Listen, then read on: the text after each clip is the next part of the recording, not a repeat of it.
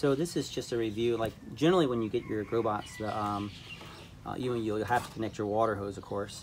Um, but otherwise, the um, the the tube that goes from the valve into the tank, there should be a zip tie on there that holds it in place.